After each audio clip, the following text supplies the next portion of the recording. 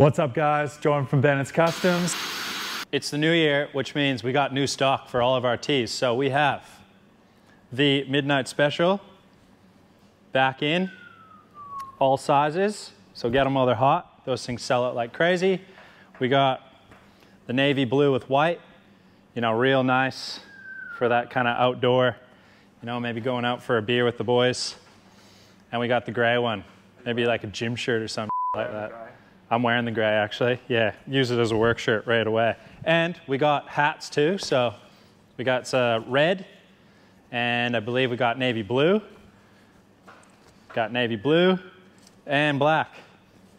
So believe that. We got all three colors, embroidered trucker hat for those who like them. We got three colors, three new colors, and we got new graphics coming soon too. So make sure you jump over to the shop and buy some We, uh, we're back in the shop. Um, snuck in for, for a, a little day, um, you know, maybe a couple through, uh, through the Chrissy break, but um, hope everyone had an amazing Christmas. Um, and yeah, coming into the new year, uh, ours was pretty low key, just had the little fella, so we were um, able to get down to the beach and uh, caught up with some mates and had a few beers, so that was really nice. And um, yeah, today I'm, I'm, in, got a bit of mo motivation, and uh, we are working on the 32 frame. Um, the shop's quite clean at the moment. The olds is still there, roadster, race car. Just drove that back. I drove it home over the break and just kind of drove around the neighborhood a bit, showed a few of the kids. But um, I think when I was racing in Collie, I, uh, I, well, I, I know I did. I certainly um, lost second gear, so it was making a pretty bad sound. So I pulled the top off just then and looked, and um, several teeth are missing. So transmission's got to come out, but that's okay because there's a few things I want to do to the car anyway. So, um, but yeah, that'll be in a different episode. But anyways, back on the 32 frame. Uh, in our previous video, we got about 90% of the way through the cross member. So I still need to fix these little problem areas um, where the, there's a few hairline cracks. Um, and I'm just going over a few bits to kind of lay out the way I'm going to actually bolt it to the table so I know where um, everything's going to be, try and get a laser on it, get it square. Um, you know, uh, each horizontally and vertically, get everything set up where it's supposed to be.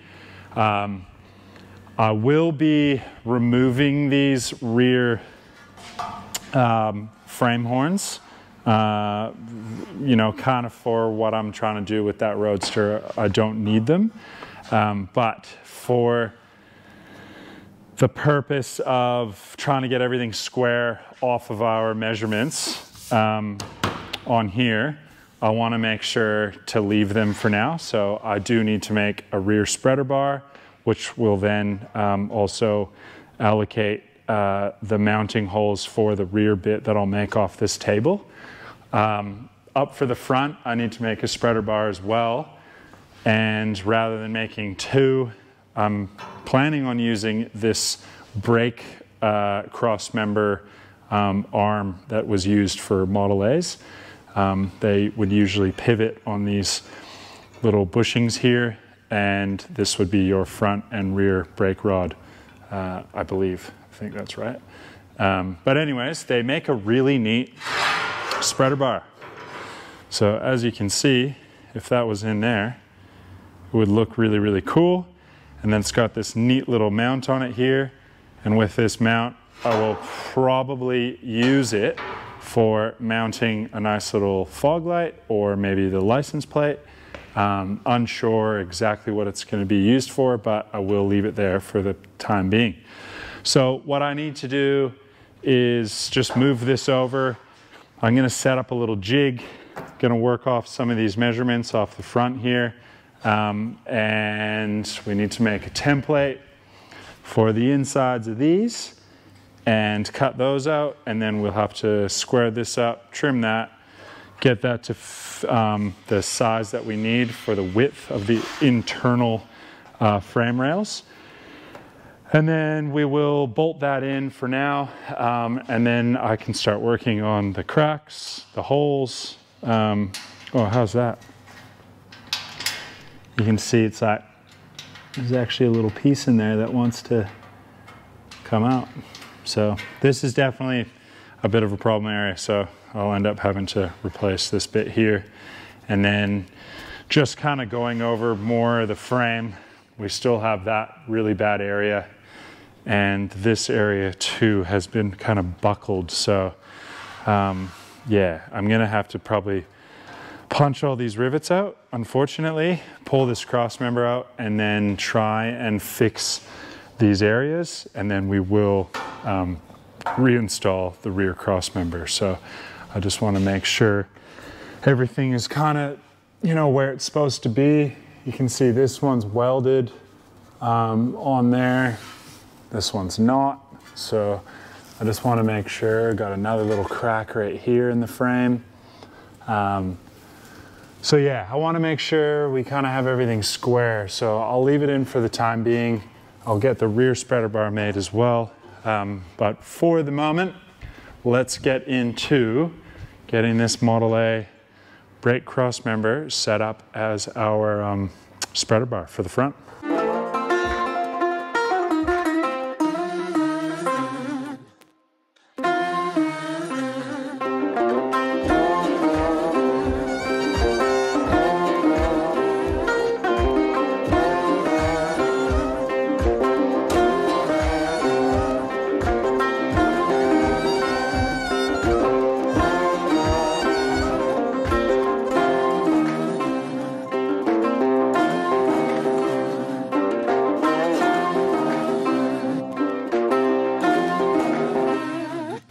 So I just got a little bit of paper. I'm just gonna stick it in here and do the old dirty, dirty hand trick just to get an edge.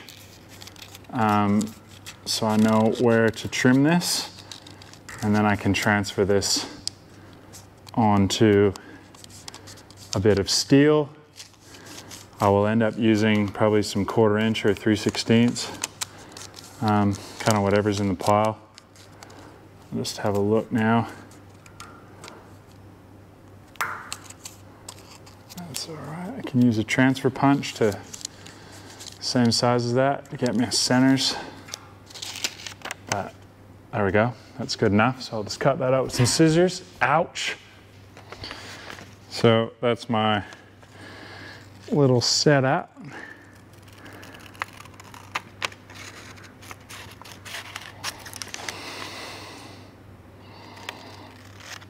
This is where I'd love to have the plasma table. But that'll come. Hopefully early this year.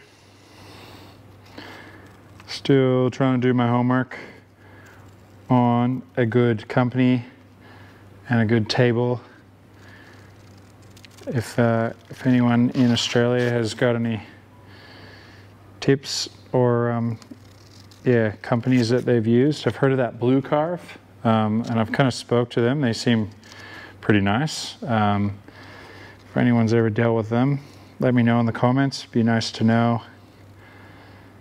But this doesn't have to be perfect. So what I can do now is transfer this onto some metal and then we'll cut two of these out and then we can bolt them in, figure out the width of this cross member, um, and we'll start to get kind of all the little bits in a line. So let's get this frame off. All right.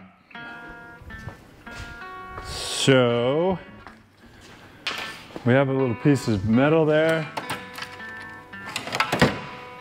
I kind of want to transfer this onto a bit of cardboard, to be honest. It's probably not totally worth it though, is it? Probably don't need to. See if I can get them in a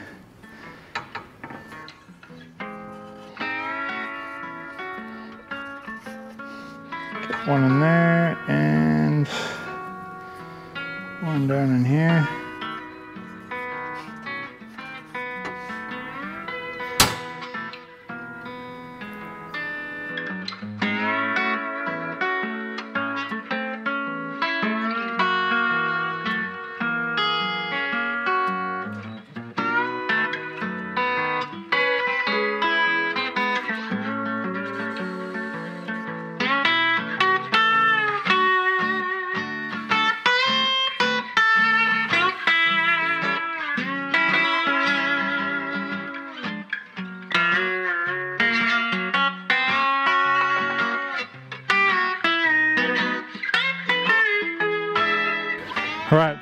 Those cut out and I just run the little countersink thing just around the edges, just take the burrs off. So I'll clamp this back down to the table and I'll cut these out with the angle grinder and I may bolt them together and then I'll use those on the linisher to make sure they're both the same. So I'll grab the angle grinder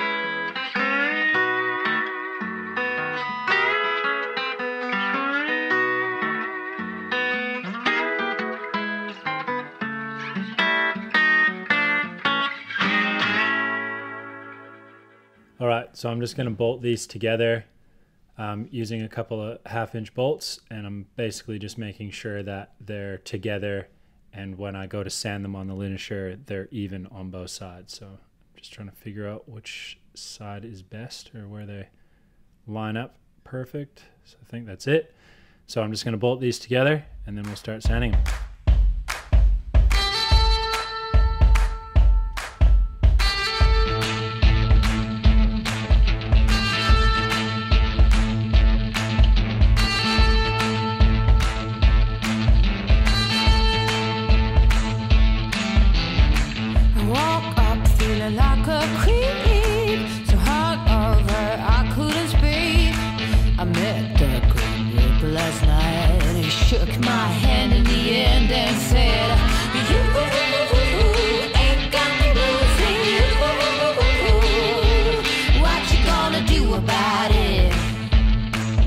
Uh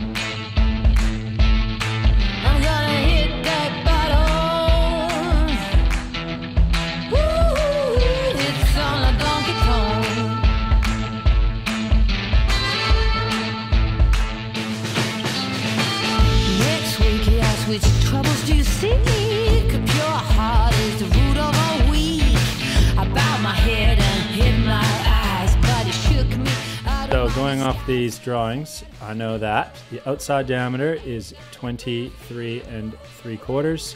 So putting that into mil is 603 mil, virtually. So just rough it and say 600.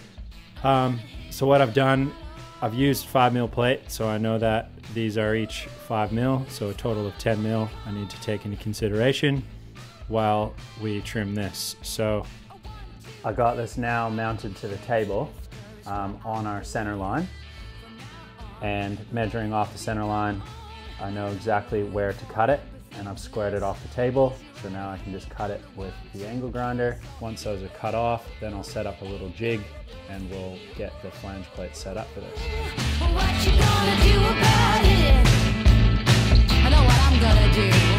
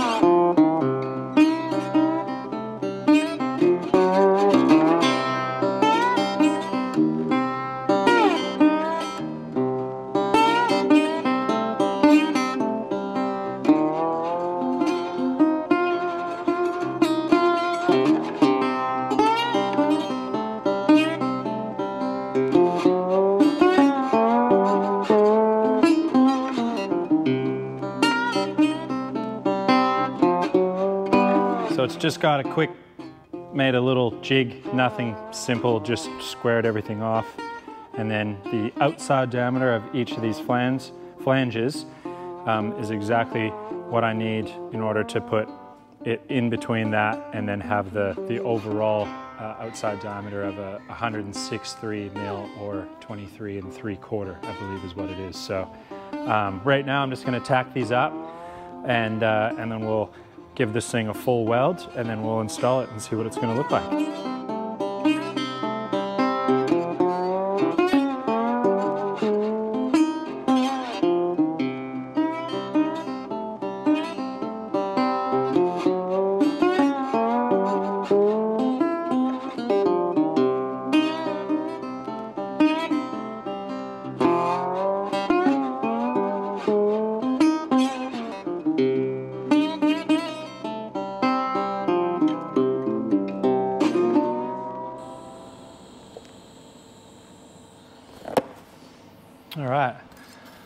Got it tacked in. I'll probably try and do a pass on the top where I can kind of get comfortable and then we can kind of take it out of the jig and flip it over, re, um, re-clamp it in and then, yeah, should be, should be all right.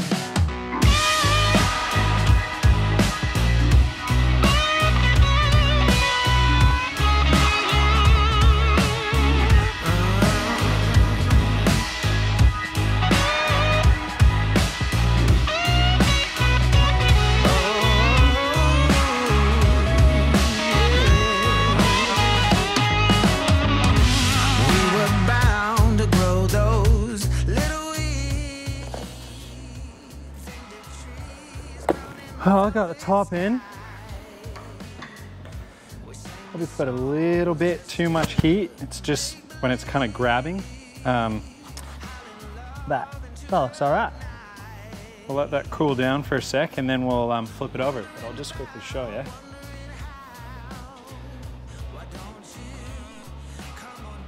Nothing special. Just a nice weld that's solid enough for holding this cross member in. All right, so I need to get to the other side of this. So I can weld this side.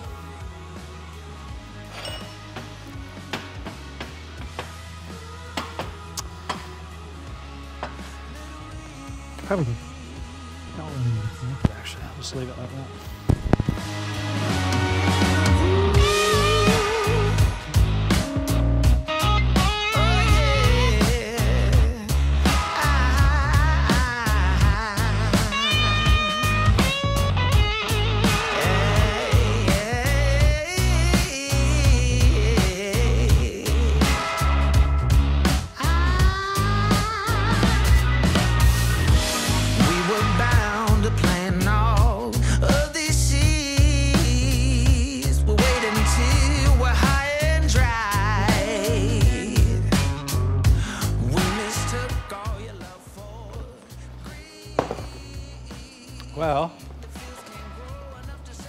I always forget to turn this off, and then the batteries always die. But that is welded in.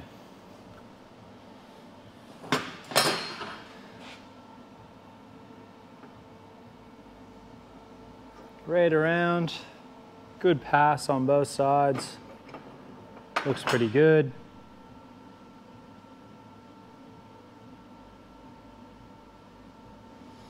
So there you have it. A simple cross member that hopefully is relatively straight, which I kind of feel like it's going to be on the a little bit. That's cooling down. We're going to finish this off. So what we still need to do is weld up these hairline cracks that we have on all four corners. So I'm gonna wire wheel these now. I'm gonna drill a little hole right at the end to stop where the crack is. And then I'll Dremel these out a little bit with just a little carbide bit. And then um, we'll just do a little pass of the TIG on these. You got me acting acting out. You, all tenderness is out the window. What you do to me when the cold blue straight cool. Mm. Oh, it has to be you leaving writings on the wall. Promise me roses and a hungry haze, but now there's only madness. Got me feeling down. So I'm gonna use the little carbide bit and this little guy as well, because I can kind of just come on the inside of the crack a bit. It's a dream. All I'm trying to do is just scallop out a little area just so I have somewhere to put a bit of material in. The crack goes all the way through. It's quite hard to get to the back side of it. So I'm just trying to make that little V and then I'll be able to um, yeah, get a bit of welding. Don't make me do it. I, I got too much to So that one actually didn't go all the way through to the backside, so I don't really need to drill it. And the rest of them actually go straight into the hole. So that's a good thing. Just means I don't kind of have to pre-drill the little holes, but Now lay me in the wilderness to dry up into good. Just show you. You can kind of see how it's all scalloped out. Sorry, screen's gone black. Let's try that again. Okay, so you can kind of see there where it's scalloped out as well as that one. So we're just gonna do the same to these little hairline guys here. And then we actually have somewhere to get that filler rod in there. And then we can just kind of grind it smooth, hopefully eliminate them, bolt this thing back in. Another night. Don't wanna walk another mile. Please don't make me do it. 'Cause I, I got too much to lose. So now you can see where I've ground that one out. So now we're gonna weld this. And on other news, if we just walk over here quickly, Josh has got a little lunch thing going on. Well, hello. And what's the special ingredient in there? Chimichurri. Chimichurri. Sauce. It's the best thing ever. Delicious. His girlfriend showed us once. You can you can definitely say she's a fan in our books. Great cook. Turn this light off. Plug this in. Welder.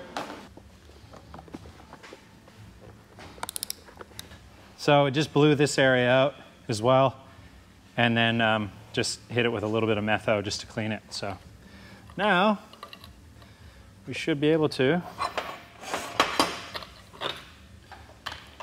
when you're TIG welding too, get comfy. Don't just like rush into it.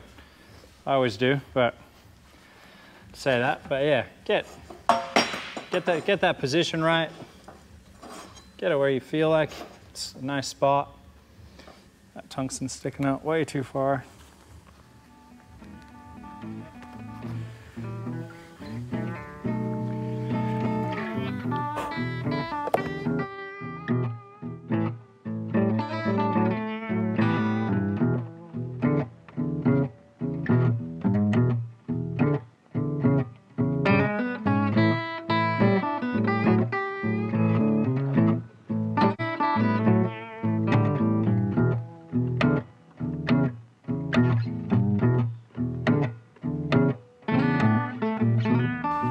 So I'm just gonna grind these down so there's no high points. And this is done.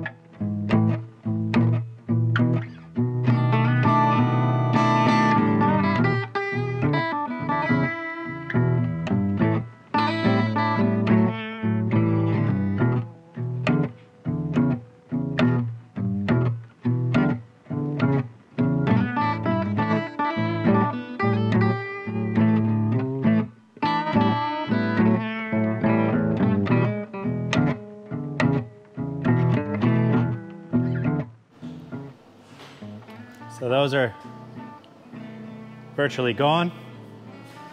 There's a little couple marks for where the weld was, but you're never gonna see this, goes in the frame, but at least those hairline fractures are now fixed and welded up.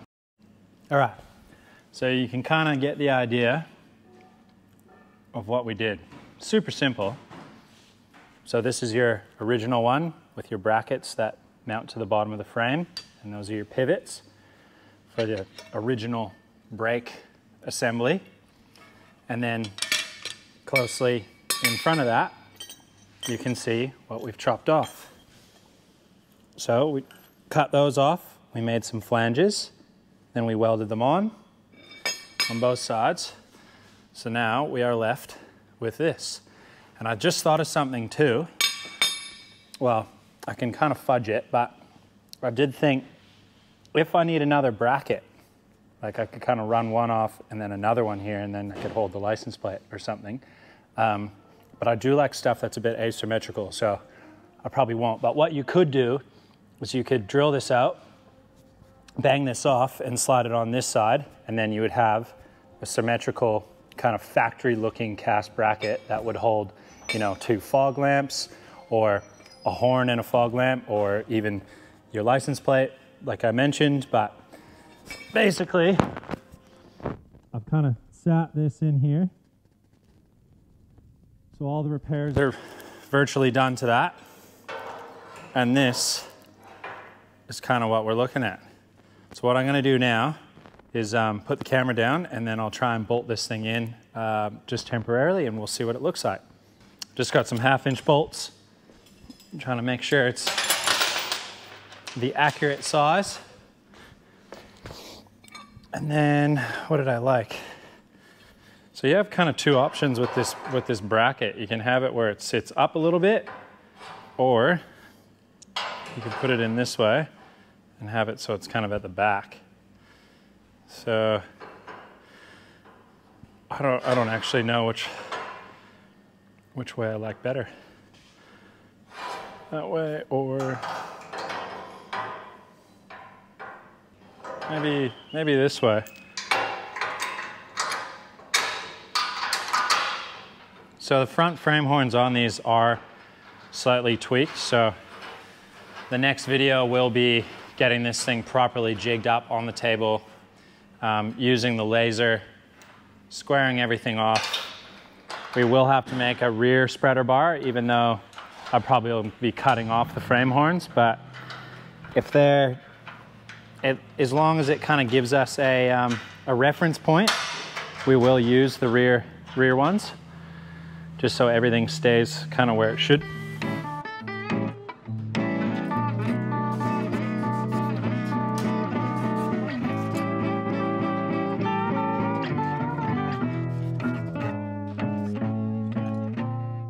So there you have it. Welded in, or bolted in, sorry. So we got it bolted in. Looks really nice. Just a simpler idea. And look, there's probably different options. I could have um, welded this nut to this plate and then moved this right forward so it would have followed the same radius. But I kind of like the way that it's kind of stepped back a little bit. Um, yeah, there's there's so many different ways you could have done this, but I think that looks really cool. It also kind of follows the plane of the um, the frame itself, so the fall comes down and then meets right up with that. So everything's kind of in in proportion. Um, but yeah, I think that looks really cool. So what I'm going to show you is I'll just get one of the boys to hold the grill up, and then I'll just give you a few options of kind of what it looks like. Okay, so I just set up the 32 grill um, just with a bit of wire just so you can see and put a little bit of leather behind it just so you can't see through so you can kind of get the idea that there's a radiator there. And um, so this is the, the, the, finished cross member basically bolted in. Um, and I'll just kind of show you again. We kind of just went over that before and after, but there's your Model A brake cross member. Um, and you know, once modified and cut with some flanges, it looks great. So with some nice hardware, I would definitely suggest, yeah, not probably using those bolts or maybe trying to lay them off or finishing them or put some stainless ones in, whatever. But that's, um, yeah, and don't throw these away because you'll use these one day. I have a box of them and I use them all the time for brackets. I cut them off or drill them or do all sorts with them. Um, but yeah, so what I was saying is with that little mount on there, and you know, I had mentioned that you can put it kind of more up or sitting back, but what you could do now is fabricate up a little piece that could kind of hold off that. So now you have sort of like a little asymmetrical kind of license plate mount for it, which honestly, license plates just always look on, on cars. But you can, um, yeah, you could do all sorts of things. Usually guys whack them in there, but I just think they look awful. So another option, that's that old um, Walla horn that I got. So we could make a little mount for that. Have that sit off the front. That would look really cool. And then, you know, we have our horn up the front. Everyone can hear it for the six volt that it probably is. But it does say okay on there, so don't even know if it actually works. If it doesn't, we'll just have to put another one, hide it somewhere. And again, another option would just be a nice single fog light, which would also look really nice too. It's kind of a style that a lot of guys used to run, um, running a pair or even a singular one. I really like a singular. I do like the mount, how it's offset. And um, yeah, like I said, just asymmetrical stuff's kind of cool. I, I like it. So yeah, you kind of, you know, have a bit of option to play around with. Um, you know, you still got a bit of clamp if you wanted to put a license plate topper or something on there or whatever, but just a different idea for not running your kind of stock standard stainless straight bar across or the ones that kind of have that little 22 degree kind of kick or whatever in them. It looks neat. You have a bit of idea with this. Um, you know, you can drill this out, you can spin this around, you can move it anywhere you want.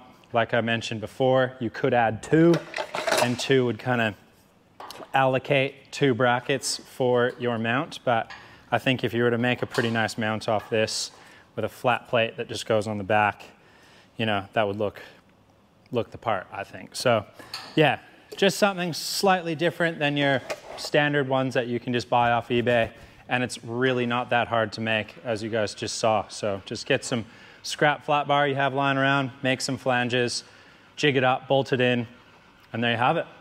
A Model A cross member made into a spreader bar for the 32. So pretty cool.